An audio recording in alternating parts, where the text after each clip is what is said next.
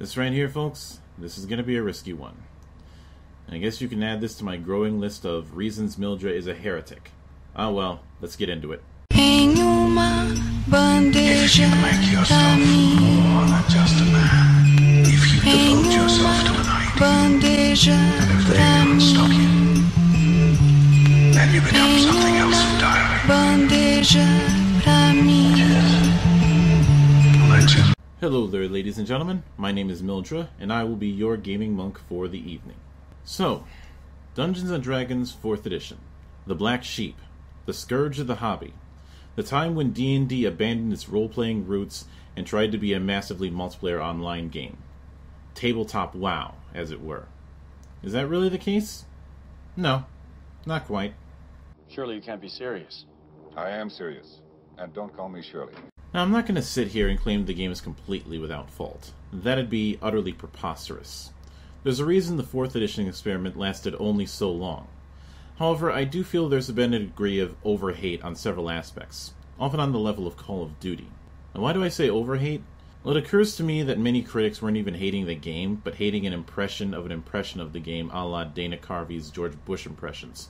I see this kind of thing often. A clear difference between those who criticize the idea of something and those who criticize the actual product.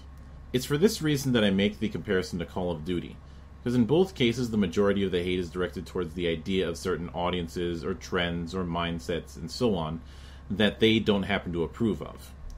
And to voice that disapproval, they'll attach certain buzzwords.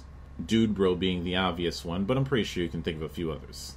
In this musing, I'll be going through a few of the most common criticisms and my own critique on the game itself. Before I continue, however, I need to address one trend that I noticed early on. When 4th edition first came out, it appeared that anyone defending it had to go through a rather embarrassing listing of credentials ritual to show that they weren't some noob or filthy casual. These often ended with some variant of, I know what I'm talking about. There's nothing particularly offensive about these intros. I'm just not a fan of them on principle. Nobody should have to go into such a detail about their history. That's the kind of shit I expect from Tumblr talking about preferred pronoun bullshit, not discussion on a fantasy role playing game. Getting that aside out of the way, let's move on. I hear this claim a lot that it's tabletop WoW or some other permutation thereof. Personally, this claim never made a whole lot of sense to me, as I don't see anything that's in an MMO design specifically that's in this game's design. The level based rewards and powers? Eh, maybe, if you want to stretch it. But that's the case with a dozen other games, both video and tabletop. There's no fetch quests inherently in the rule set. Any semblance of mass combat or dungeon bosses aren't going to be structured like a typical raid, so where's the MMO in this? Well, I have my own guesses. It's a bit nonsensical, but I firmly believe in the eliminate the impossible adage. An ancestor of mine maintained that if you eliminate the impossible, whatever remains, however improbable, must be the truth. See, 4th edition came out in 2008. That same year, World of Warcraft released its second expansion, Wrath of the Lich King, and was arguably at the peak of the game's popularity. The MMO juggernaut was near ubiquitous in gaming, with countless copycats following along with it. Alas, with any trend that rises so suddenly, there's an inevitable backlash of people who think it's not that good, overrated, etc., etc. As time goes on, that backlash starts to descend in on itself. People aren't directing their vitriol to the game itself, but rather as an impression of an impression of the genre as a whole. When criticizing a genre like this, the critiques become broader and more non-specific, eventually reaching the point that the criticisms are like a jingle everyone knows the words to. If you want another example of this in the video game end of things, look at the JRPG cliche list that everybody was using in the late 2000s. I'd also be remiss if I didn't speak on the virtual tabletop concept at the initial presentation, which sadly didn't see the light of day. I don't think this was ever meant to be anything other than a virtual tabletop, akin to what Fantasy Grounds, Tabletop Simulator, and Roll20 are today. On the other hand, its appearance can lead to a guilt by association deal. While I'm not averse to critique a game I like, I think proxy criticism as mantra does no favors to an argument. But it is this broad argumentation that brings me to my second point. And this is where things are going to get a bit ugly. In a nutshell, the claim is that all of 4th edition's mechanics revolve around combat, and there is no room for role playing one's character. This is a trickier one than the first point because what counts as role playing can be highly subjective. But permit me a moment to give you one unpopular truth. If you want pure role playing mechanics, you're in the wrong game. Lies! They filthy! No, seriously. D&D has always been geared around combat and similar adventuring for years. If you want something more narrative, then you should go play a narrativist game like Interlock, the D6 system, or the Storyteller Adventure system. Each of those examples are centered around storytelling through mechanics or overall design, and are meant to reward descriptive play. D&D, in my experience, has never taken that route. Excluding supplementary material, it's always had roles, there's always been the emphasis on both combat and building towards making a better combatant, and so on. Furthermore, the attempt at a skill system in D&D in the same way it's done in so many other games has been awkward at best. It was never really designed for skills the same way other games are. Ultimately, the role playing aspect is up to the players to bring that to life. The rules are just a means to do so. I find the no role playing claim to be wanting in terms of evidence compared to its direct predecessors. There's also the issue that D&D can't decide if it wants role playing in a living world or if it wants to be full murder hobos. But that's a subject for another day. Disassociated mechanics is another thing that was brought up in the debate with the game. The short version is that they're mechanics that separate the player from character.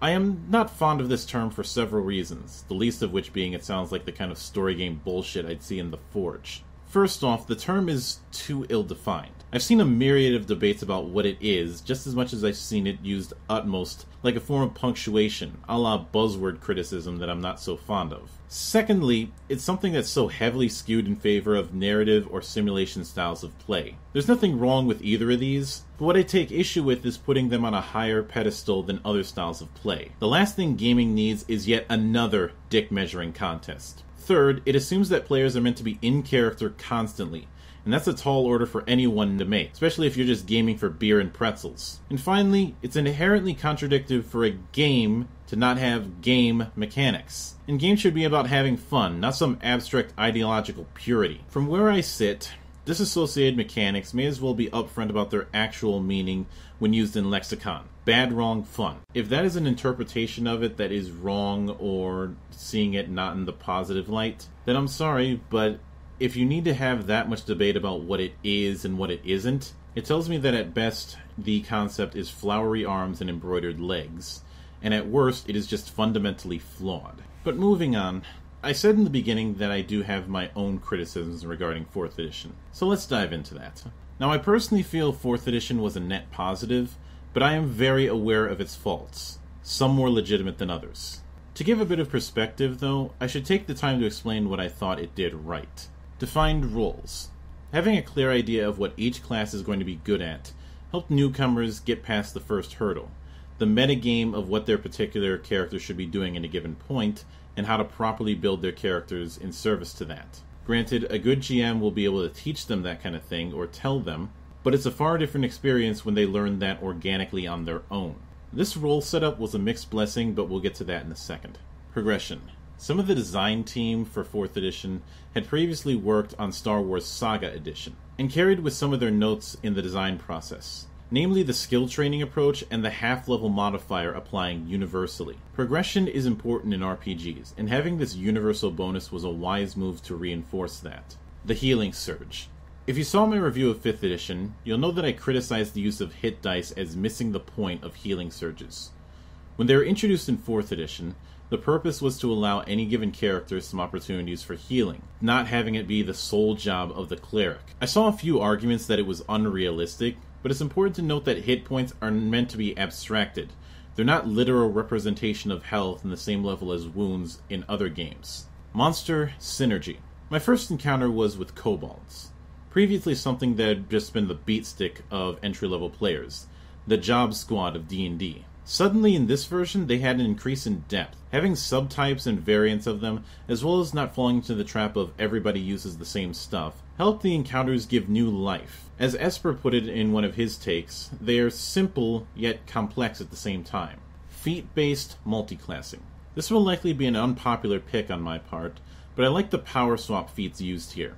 More often than not, people multi-class because they want to get a specific ability that their class just doesn't have. The feat approach is still a trade off, yes, but I feel it cut out the middleman and dodged the problem of multi-class characters being overcomplicated, suffering from MAD syndrome, or just underpowered. There's a handful of other things I enjoyed. But many of these are just little things tied to these pillars directly or indirectly. Be they the psychic points introduced later, the increased importance of races with their own abilities, an attempt to give feats some proper focus in what they're supposed to do as a universal thing, and the creation of the martial power source, which caused as much salt as did Tome of Battle back in 3rd edition. However, I won't pretend that the game was perfect. The potential varieties regarding character creation were very limited early on, with the first player's handbook only having 8 classes as opposed to 11 in 3rd and 9 in advanced 2nd. Furthermore, I think the change away from the massive spell sheets into the level by level progression created the MMO impression in the minds of many. Not helped that several staple classes were missing from the main book. In addition, there was the emphasis on map play, which has certainly always been there, but the abstraction wasn't as present as in previous editions. The intent, it seems, with 3rd edition's balance was to be over a whole campaign rather than a given moment. Unfortunately, various exploits and spell usage snapped that balance in a billion pieces. Because of that, 4th edition was trying to do a balanced synergy at any given level, and that's admirable. But I can see the argument that the pendulum was swung too far in the other direction with the near religious adherence to its formulae. Gradually, they began to tinker with the formula before going full force with the experiments in the psionic system, but that was too little too late. There were many great ideas during 4th edition's run, but far too many of them were locked behind the paywall of Dragon magazine. Some of these were collected in the Dragon Dungeon annual sourcebook, such as arena fighting, but that was only done once. I think if some more of these Dragon entries ended up in sourcebooks, albeit later than the initial Dragon postings, that might have helped matters but instead they wanted to focus on people signing up for D&D Insider, and that was a massive, massive mistake in my opinion. Now, while D&D is far from the only victim of this, it becomes more and more difficult to create challenging encounters the closer the party gets to the max level. Part of this is to be expected. It's hard to make something threatening when you're practically a demigod yourself. Now, while this can be addressed by having a campaign go full cosmic, that's a bandage, not a fix. I think the introduction of the Essentials line was the beginning of the end. On paper, making a version of the game specifically designed with newer players in mind doesn't seem like a bad idea. But the problem lay in the fact that they were effectively splitting the gameplay in two, not too far removed from the basic advanced deal that 3rd edition had previously unified. The irony is that Essentials was even more streamlined than before, and strangely put in a non A4 format with its books that gave off the appearance of being bigger than they actually were. It was at this point that they started aping the advanced days, in my opinion, a tradition that sadly continues to this day. There's nothing wrong on paper with AD&D, mind you, but it's a case of tradition for tradition's sake that I absolutely loathe. Overall, 4th edition had a clear goal and was uncompromising in that goal. But in doing so, it trampled on both real and imagined traditions, resulting in a feedback loop that we saw through its run. It's not my intent to say the people who hate 4th edition are wrong, but merely to give some perspective. Overreactions do nobody any favors, and I think too many look at the game with hyperbole over everything else. If there's anything to take away from it, it's that traditions and nostalgia are, as I've said in my first video, a sweet poison. As Hamlet said, better to bear ills that we have than fly to others we know not of. And speaking of flying, next time we meet, we'll be discussing rolling dice in a galaxy far, far away. Hey there, thank you for watching if you managed to make it through all, all this way to the end. I realize it's been a while since I put up a video. I'm trying to maintain a two week schedule to kind of give myself a rhythm. It'll be a while before I'm able to put up the next entry, but I hope you all look forward to it. In the meantime, if you enjoyed this, or you think or you think I'm a heretic for saying these things about 4th edition, then let me know in the comments section below. Until then, my name is Mildra, I am your gaming monk, Stay fucking frosty, everybody.